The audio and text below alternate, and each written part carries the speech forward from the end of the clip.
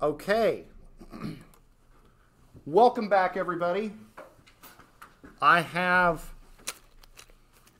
our final lecture topic today. Um, but more globally, I have just some general housekeeping items. But before I get into that, I hope everybody had a, um, a relaxing uh, and, and, wonderful Thanksgiving break.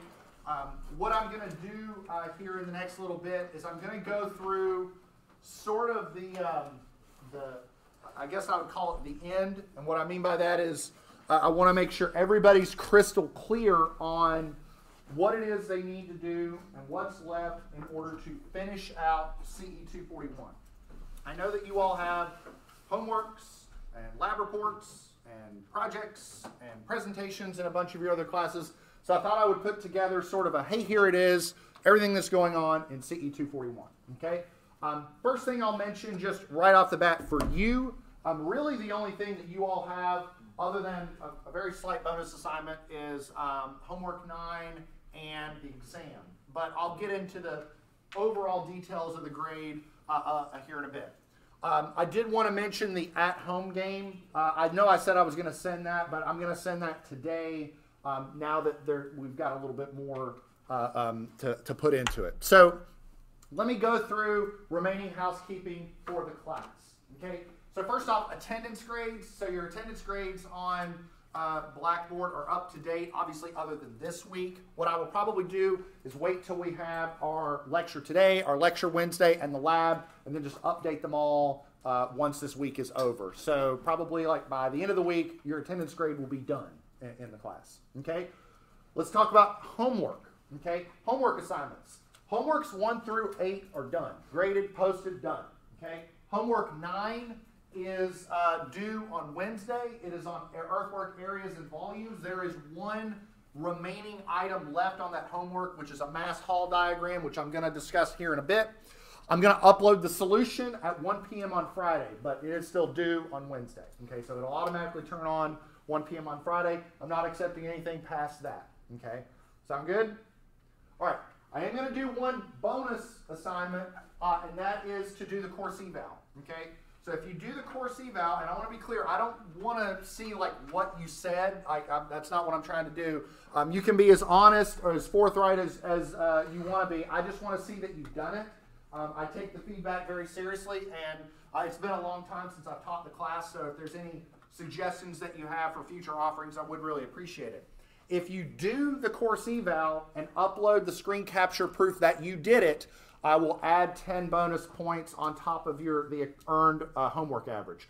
What that translates to is about uh, an extra point on your final grade. So if you have an 83 and you did this, you probably get about an 84. I say about an 84 because I round the grade at the very end, and so I'll, I'll talk about that here in a bit. But if you have a 76.7, I round that up to a 77. Okay, so that's why I say it's about. Um, labs. Okay, so I know I do still owe you the topo and whatnot, but let's talk about labs. So labs one through nine are done. They are graded. They're posted. Uh, the remaining labs I have left are the topo and the curve lab. The curve lab is going to be a really easy grade. Um, everybody is pretty much either going to get a 50 out of 50 on it or maybe a slight deduction based on the field notes. That's really the only thing I'm checking because all the math was right because everybody checked their, their work uh, before going out, and the curves were right because I was there, right? So the only thing I'm checking is the field notes. I can get that done pretty quickly. My goal for the topo is to return the grade to you in lab this week, okay? So that by this week, every lab will be graded other than the lab this week, okay? So let's talk about what's left, okay? So what's left, we have a lecture today on construction. This is our last topic of the semester. We have an exam three review on Wednesday. So just like last, you know, in previous times, you know, come prepared with questions and what have you. That, that's what we're doing during exam review. The lab this week is going to be the second plan reading exercise. So what we're going to do is take those plans, remember the plans we did at the very beginning of the semester? Now we're going to look at them again. But we're going to ask some more specific questions about those plans now that you're armed with information about what is a horizontal curve, what is a vertical curve, etc. So you'll be able to look at those plans a little differently. Okay. Um, the exam in here, okay, is un- unfortunately we drew the short straw, okay, because we have the last time slot on the last day of finals week, okay?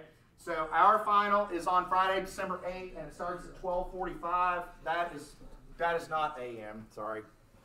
That'd be a long. That'd be a long test. Yeah. Sorry. Hold on. Hold on. All right. There we go. Um, my my final exam slot, like every professor's final exam slot, it is every professor's given two hours. But I don't design my final in here to be a two-hour exam. I design the final to be a 50-minute exam. But I'm giving you the full two hours. Okay. It is very typical during my finals that most people are walking out early because you've got more than enough time to, to complete the exam. As for what's on the exam, the star of the show on the exam is going to be horizontal curves, vertical curves, and earthwork.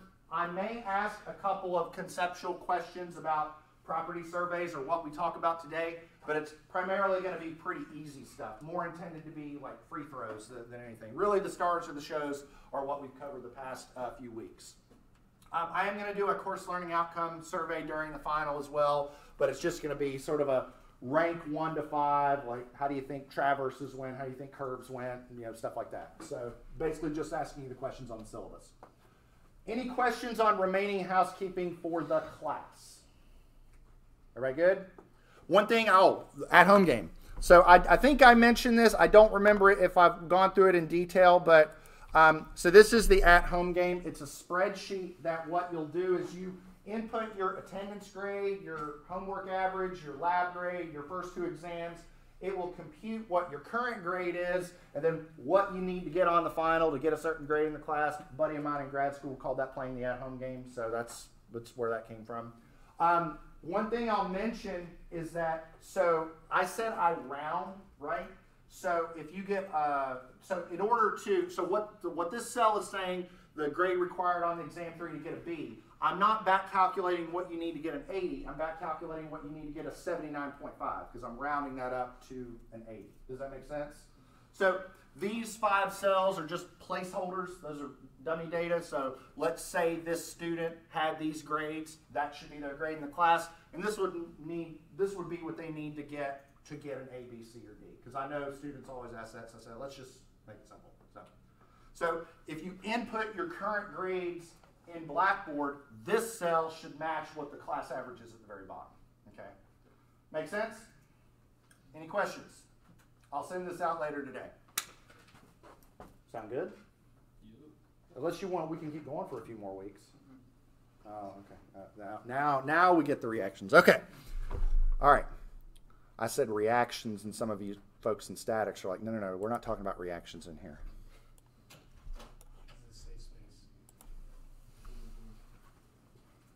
You don't want me to take a moment and talk about statics? No, we're fine. I, we're very fine. You can just never mention it again. That MATLAB, man, they stay in the same spot. Trust me, I can talk about statics.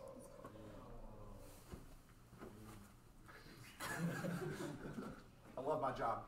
Okay. Oh, um, I, I'm, I'm starting on lecture 26, but I wanted to finalize what we had done on lecture 25. Um, so let me go back a little bit. This is a good place. Okay. If you recall, during our previous lecture right before break, we were discussing earthwork and we were discussing how to compute volumes uh, uh, uh, of different uh, you know, segments along a given route-based project. And we had two methods. We either had the end area or the pyramid formula, dependent upon what section you were looking at. Uh, and then we had done this example, right? We had done this example where we had computed cut and fill volumes for these quantities. Okay, we computed these these volumes uh, for cut, uh, these cut and fill volumes based on these areas. And so we did that example, but then we said, wait a minute, okay, is this really the whole story? And the answer is no, because if you're ever disturbing Earth, the like a cubic foot of Earth in its bank or in situ state is not the same as in its loose state, or maybe in its compacted state. So we sometimes need to adjust cut and fill volumes to account for the disturbance that we make whenever we're performing uh, earthwork operations. Um, and so uh, we call those uh, um, phenomena from, a, from an earthwork perspective, we call that either shrinkage or swell. So shrinkage happens when we're compacting a material to a density greater than its you know, uh, uh in, in, situ state. Um, and so this is done a lot in roadwork applications. Swell tends to happen whenever you have like a rock type material and you're blasting it or, or um, uh, uh, uh breaking it up into smaller particles they end up uh, uh, uh, taking up a bigger volume than its natural state. And so we sometimes modify the cut and fill volumes to account for that. Okay, so um, the last thing that we hadn't discussed, and, I, am sorry to bring up statics because this is kind of kind of have a little bit of analogy, but um, uh, one of the things we didn't discuss at the very end was a mass haul diagram. So, for example, um, if I have a given project and this is the existing ground and this is the grade line, okay, so the existing ground versus the final grade, some of this is going to get cut, some of this is going to get filled. So the idea is the material, see how the materials kind of kind of be like hauled this way? Y'all see that? Well, a mass haul diagram sort of tells you where the material needs to be moved uh, along the project. And um, it is analogous to like a shear and moment diagram, that this might be the shear diagram and this might be the moment diagram. But I promise that's my last mention of Engineering 213 in here, because that apparently tends to be a sensitive uh, subject. Am I uh, sensing some friction there? Hey, two more weeks. two more weeks. That's all I know. Uh, sensing some friction. Just that, that joke, just friction static friction, kinetic friction. Okay, all right. Um, so what I want to do is I want to compute the uh, earthwork volume. I want to go back to the volumes in example two, and I want to adjust them a little bit, but I also want to calculate cumulative volumes and show you how a mass haul diagram is produced. It's really, really easy, but I just kind of want to do it for completion's sake. So let me go back to this problem, okay? So this is the problem that we did together in class. So I had given you some stations, some cut areas, and some fill areas, and we were able to determine cut volumes and fill volumes. And ultimately what we were doing is using either the average of the areas or BH cubed over 3, depending upon what section we were on, and the H, or the length, was the distance between stations. Does everybody remember this? We did this right before break, okay? Um, I'm going to show you something. So see these numbers like 0, 1.94, 10.17, da, da, da, da, So down here, I've repeated those numbers. Okay, so it's, it's the same numbers. I'm not, I'm not, I'm not uh, making anything, um, uh, uh, out, speaking anything out of turn. Okay, now let me go back to the slides. What we're going to do here is we're going to recalculate the required fill volumes, assuming that we need to account for 25% of shrinkage of the fill. Okay? So in other words, what we're going to need to do is increase the amount of fill by 25% to account for the fact that here's fill in its loose state, but in its compact state, it's going to be smaller. So we're going to need more of that fill material to, uh, to fill up the same volume. Does that make sense? So, and the, the ratio is 25%. Uh, and where do we get that? That's just a property of the soil or, or the earth that we're working on uh, for the given project. Okay? So what I'm going to do is, so now I'm here. These are the same, uh, uh, uh, this is the same data from the previous problem. So here's the cut volume, here's the fill volume what I'm going to do is I'm going to take these fill volumes and I'm going to increase them by 25%. And so I just want to make sure we're clear. Everybody know, like, what's the easiest way? Like, how do I increase this by 25%? What do I multiply this by? 1.25. So just to make sure we're all uh, awake and have pulses and respiratory patterns, what is that times 1.25?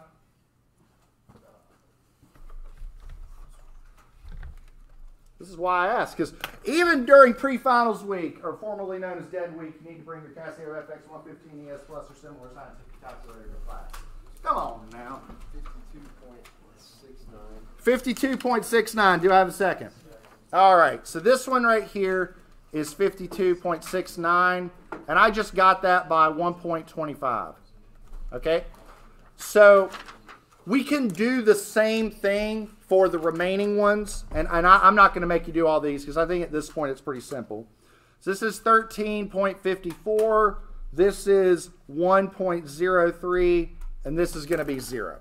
Okay, so all I'm doing is just where it says fill plus or minus, what I'll do is I'll say plus 25%. Okay? So I'm going to sum this up over here as well. So when I sum this up, I get 67.26. Okay? With me so far? Now, what I'm going to do, here's how I'm going to handle this mathematically. I want to calculate these cumulative volumes. Okay? And the way that I'm going to handle that is I'm going to treat cuts as positive and I'm going to treat fills as negative. We'll deal with our actual fills, this adjusted fills.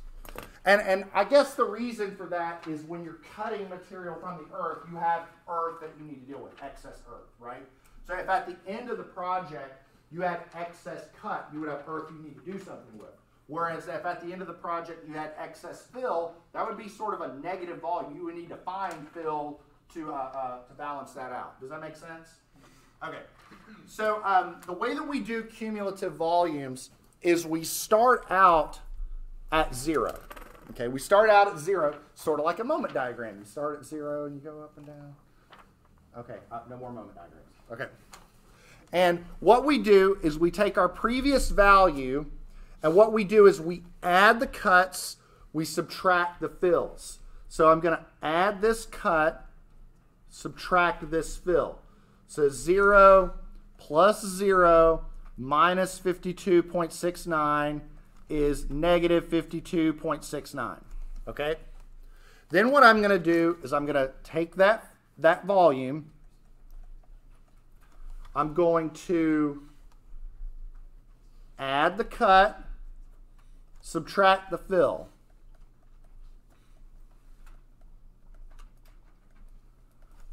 And what do we get for that?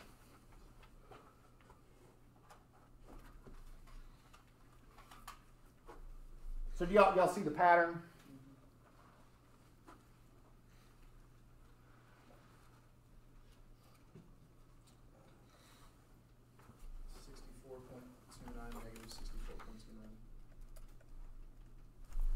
Negative sixty-four point two nine. Negative 64.29. Okay. All right. So then what we do is we take that value, we just keep doing it. So we take that value, we add the cut, subtract the fill.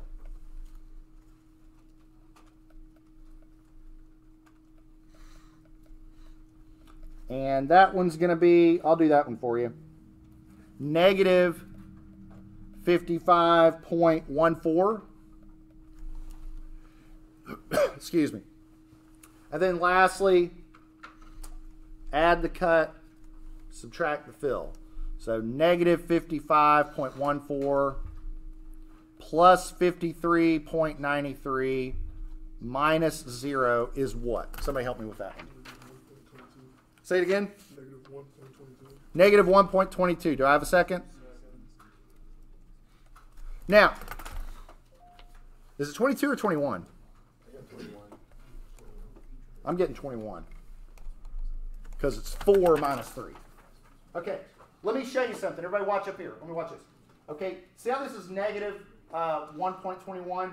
What would you get if you took the sum of the cuts minus the sum of the fills? What would you get? Same thing. So you have a check on the problem. Okay? And so what we would do is so what is a mass haul diagram? A mass haul diagram is just a plot of the station and the volume. Station, volume, station, volume, station, volume, station, volume. And so because it's negative, what that essentially means is that along the project, we're going to be moving Earth backwards. We're going to be starting this and moving Earth this way. That's what a negative mass haul diagram is. If it was positive, we'd be pushing Earth forward. Okay, that's kind of what a mass haul diagram means. Okay, does that make sense? That's really kind of it. That, that I mean, I I wanted to cover it, but it's really pretty straightforward. Okay? Any questions? Okay. Well, I have one final topic to discuss with you uh, this semester, and that is the topic of construction. Okay? Um, it seems to be a really nice place to end the semester, given the fact that we do happen to be civil engineers, and that's kind of what we're all about is building stuff. So let's talk about construction surveying. And I'm mostly going to be presenting a lot of high level ideas. I'm not really going to be getting into the weeds uh, behind this because the, the weeds, as it were, involves all the stuff we've been talking about this entire semester. Okay? So, what I'm going to do is I'm going to try and uh, uh, establish the idea behind construction surveying, which is really about establishing line and establishing grade. But then I'm going to be talking about procedures for common applications like buildings, like pipelines, like roads. And you'll kind of see how everything that we've been doing this entire semester, you can do all of this. At least now, now that you've covered a lot of these, uh, these um, uh, uh, uh techniques. So surveying uh, uh, is, is really integral to the process of construction. Um, without accurate surveying or accurate measurement of the earth, we really can't do modern construction, period. Okay? Um, whether it's estimating quantities or staking out locations, uh, ensuring that our projects are aligned appropriately, there's really no way to do that without land measurement. And I think I mentioned this at the very beginning of the semester, but I think it probably is starting to ring a lot more true now that we're near the end. You all have had a fair amount of experience in the field, and you know that there was like let's just take the innovation building, the new business building. There's no way that building would have gotten constructed accurately without accurate land surveys. Just period. You know, point blank. Um, I would say that at least half, if not more, work, uh, uh, half or more uh, work uh, from a, a surveyor's perspective related to construction is on location, and it's usually establishing line and grade. Okay, and what do I mean by that? Um, I'm talking about placing stakes and placing reference lines along a construction site to guide a, given project. Um, how does that process work? Pretty much the same way your curve lab worked, right? I mean, what did you do in that curve lab? Let's just take a step back. You did some math, you calculated some values, and you ultimately boiled it down to two things distances and angles, right? You remember at, at the very beginning of the semester, what is surveying? It is the measurement of what two quantities? Distances and angles. And then we went out to the field and we staked them. We placed flags. And by golly gosh, when, when we looked, it was a curve, right? Well, it's the same idea for really any type of project that we do, whether it's buildings, roads, it doesn't matter. It's all the same idea. So, what type of tasks, though, if we're starting to hammer down a little bit, what type of tasks do construction surveyors need to do? Well, one of the first things they need to do is establish horizontal and vertical control. Do, do, you know what I mean when I say that? What do I mean? What do you think I mean when I say establish horizontal and vertical control? There's a word I'm looking for. It was a word that we used as a reference for our leveling labs. The word is benchmark. Establishing a, a, a point of reference, either horizontally to try and lay out a project or vertically from an elevation perspective, right? That's ultimately what we need. Um, whenever you're going back and doing a survey, so for example, for the innovation building, I guarantee you there are control points out there uh, right now where as the project was ongoing, a land surveyor can go out, set up on a back or set up backsight of control, set the angle to zero, and go to work, right? So the surveyor needs to set some control to begin the project. Topo, which uh, you know, obviously, uh, I think we could recognize how that's important from an earthwork perspective, before and after. Um, designing in CAD, um, obviously, I think that's going to be important. But a lot of what you're doing in the field is staking, staking and really restaking uh, also um, uh, uh, of the, the, uh, the design. So physically going out and staking the design um, on the field to either guide equipment or guide uh, construction. Uh, the other thing that you'll need to do is periodic monitoring of the construction throughout the project. And I'll give you a very good example of that in terms of roads here in a bit. And then finally, we'll typically do an as-built. So an as-built is just a final record of the difference between what was designed and what was actually constructed. And I think everybody in here would agree now that there are going to be some slight differences. That's just the real world. Okay? Um, let's talk about construction staking. So um, usually the land surveyor um, is either the first person on site or the last person on site each day. Okay? Because what they're going to do, so if they're the last person on site, what they're doing is they're taking stock of what construction was done that day so that the next day they can come in and guide, okay, you've placed this much fill, you need to place a little bit more. Um, and vice versa if we're talking about uh, uh, uh, being first on site. Um, surveyors will typically place two different types of stakes. They'll place temporary stakes and permanent stakes. Now, temporary stakes, so let's talk about a road project. Temporary stakes are going to be along, usually along the center line of the road, right? So think of the curve lab that we did. That curve, imagine that curve represents the center line of the road. We'll place stakes, but they'll be temporary. Why would we, so if we're doing a road project, why would the stakes along the center line of the road be temporary? What do you think? Like, like if, like if I'm placing stakes to guide construction along the center line, why would those stakes along the center line be temporary? Because they go make a road there? Exactly, they're going to get dug up. That's exactly right. They're going to get dug up, right? The more permanent stakes are placed at an offset. So, for example, we have the center line of the project, and we might place a permanent stake, I don't know, um, offset from the highway, maybe around 10 feet from the corner of the building. So, there is a difference between a temporary stake for guiding construction and a permanent stake that we'll use as a, as a more accurate reference later. So, again, surveyors are, are going to be doing both. Um, now, when we're talking about uh, the terms establishing line uh, and grade, um, I mean, I can go into a, um, a, a, a, technical definition if you want, but really what we're trying to do is ensure that the project has accurate information both from a plan view and a profile uh, or elevation view consideration. So establishing line, that term basically means defining the plan view which is the coordinates, the um, horizontal distance, the horizontal orientation uh, along the project. This is very much in line with what you did in the curve lab, right? Because in the curve lab, we were not considering elevation in the slightest, right? I mean, it really didn't matter. We were just angle distance, angle distance, angle distance. So those flags that we were placing for the curve lab were there to establish line. That's what we were trying to do, establish the guidance along the center line of the project. Grade would be basically placing a stake and saying at this point you need to cut 5.2 feet, or at this stake you need to fill 3.6 feet, uh, and what have you. That's the difference between establishing line and establishing grade. Now, the way that we do this, again, establishing line, we did this during the curve lab, right? How do we do that? Point at some reference or backsight, set the horizontal angle to zero, turn the instrument to some uh, um, defined angle and set a stake at the predetermined distance and angle. That's pretty much it. Okay.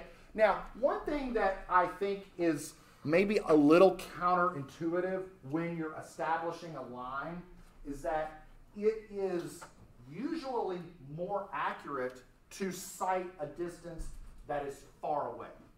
Okay? Here's what I mean by that. Let me give you an example. And I think my folks that held the rod would definitely know what I'm talking about. So you're holding the rod, right? Okay? And you're trying to keep the whole thing level while somebody's sighting it. Okay? So let's say the rod is doing this a little bit. You're going to get a lot more error if the person holding the instrument is right here versus if the person holding the instrument is on the other side of Buskirk Field. Because that amount of variability just doesn't mean that much when you're really far away. Does that make sense? So if you want a good accurate line and a good accurate distance, your backsight should actually be really far away, not really close together. You, so I know that's a little counterintuitive, but you can because you're sighting it in directly, and especially if you're you know dealing with this, you can account for that error. That error gets minimized when the backsights are, are, are far away.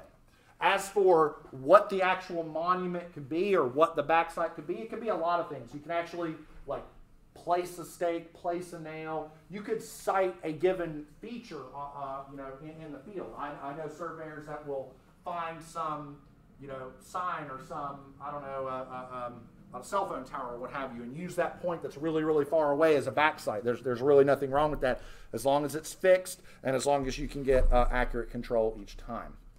Uh, establishing grade, again, so what we're doing when establishing grade is, so let's say we're using uh, an auto level, right? So the idea is, okay, um, we'll set the instrument up, do a back sight. Remember, elevation plus the back sight will give us the height of the instrument.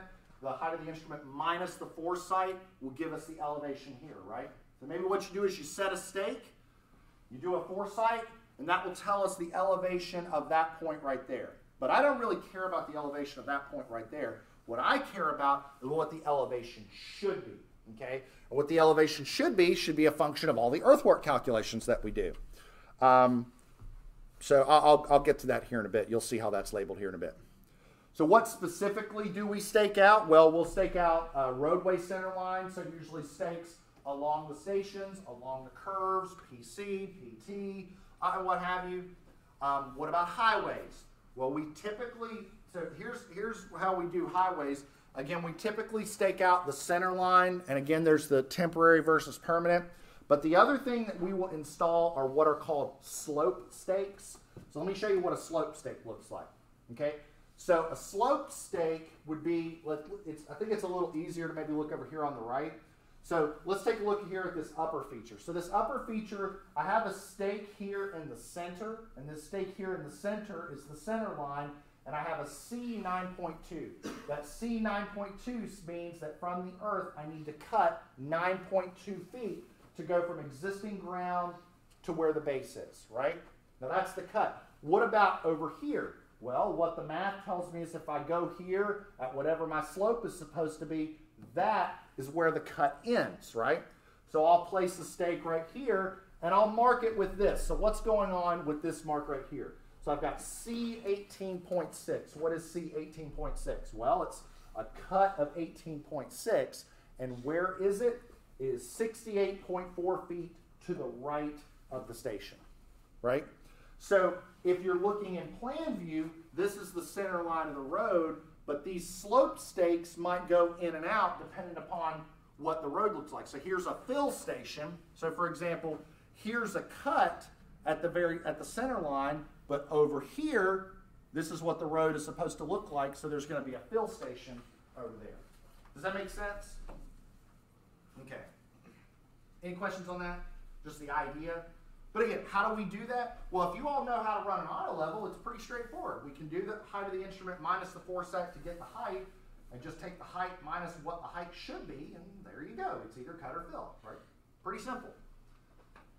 Now, one of the things I mentioned earlier was that surveyors will not just um, uh, survey a given uh, project at one point, they will continuously resurvey it. Well, a good example of why would be looking at road construction. So road construction, it's specifically asphalt pavements, um, have multiple layers. Okay, so the first thing that we'll have is the uh, what we call the subgrade. The subgrade is just the ground, the existing ground. Okay, so a surveyor will come in and monitor. Okay, here's what the existing subgrade is. Is is the base where it should be, or is the, the not the base? Is the subgrade at the elevation it should be? Okay, then we'll place the subbase. The subbase is usually larger gravel, okay? And, and how thick that is and where deep that is uh, is usually dependent upon your the, the frost level and whatnot. Um, but we place our subbase, and let's say the specification calls for, I don't know, six inches. I'm just making that up. Six inches.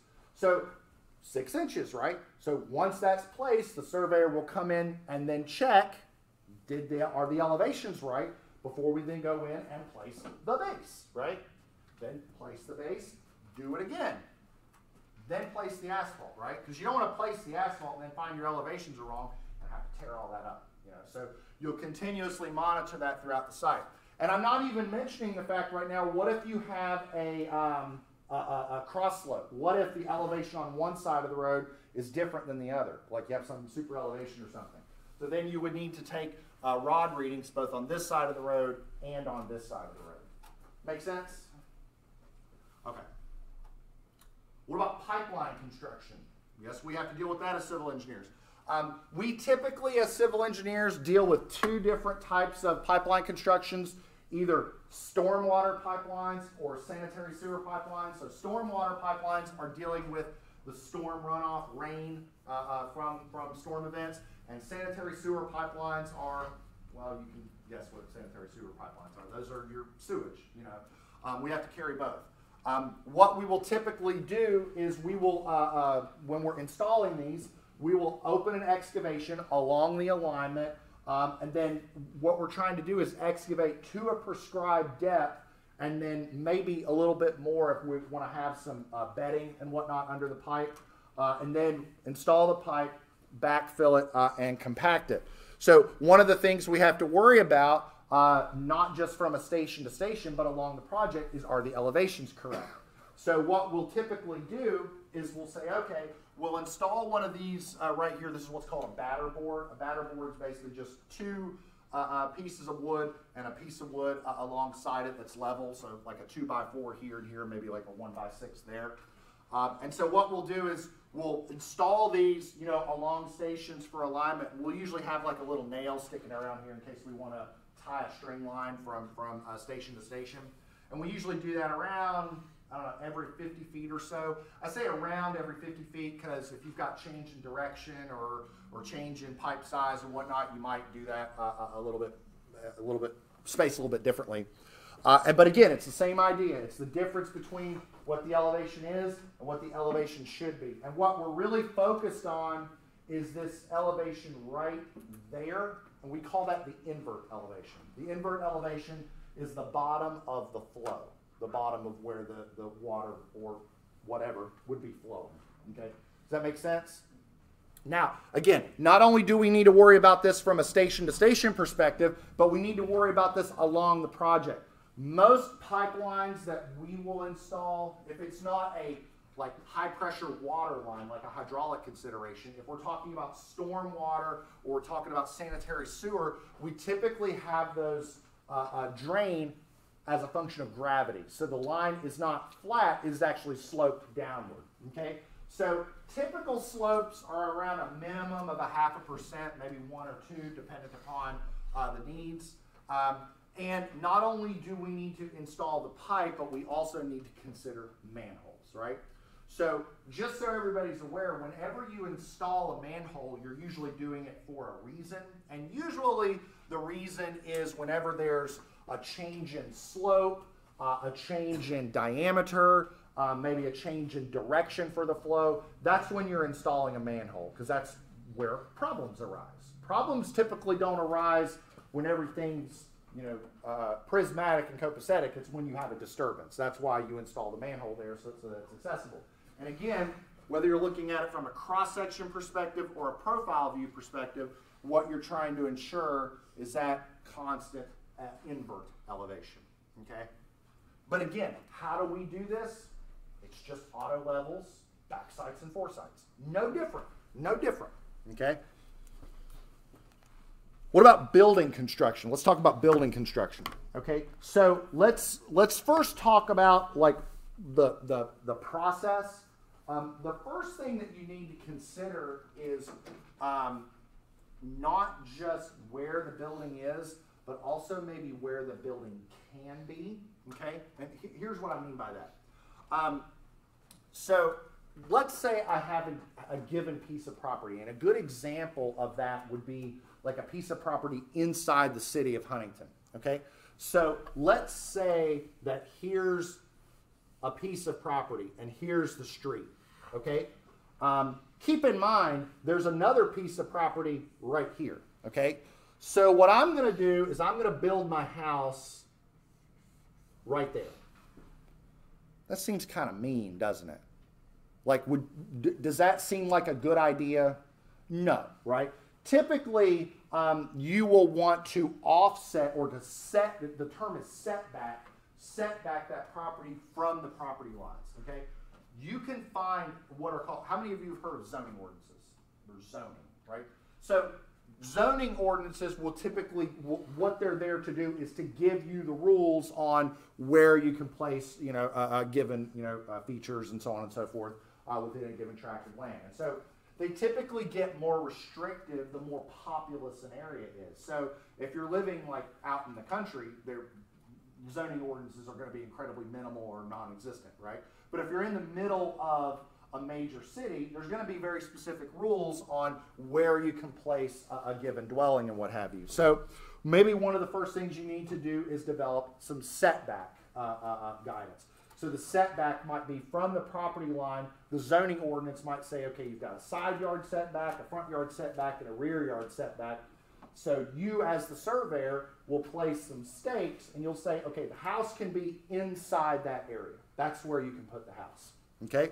So you go, you design some stuff, you figure out where the building's going to be, and then it's time to actually stake it out. Okay. Now, how do we stake it out? Set up here, back sight, distance angle, distance angle, distance angle, distance angle. And then, so set up here, back sight, turn an angle, shoot a distance, turn an angle, shoot a distance, turn an angle, shoot a distance. And we place our stakes for the proposed building, right? Now, those stakes are going to be very temporary, okay?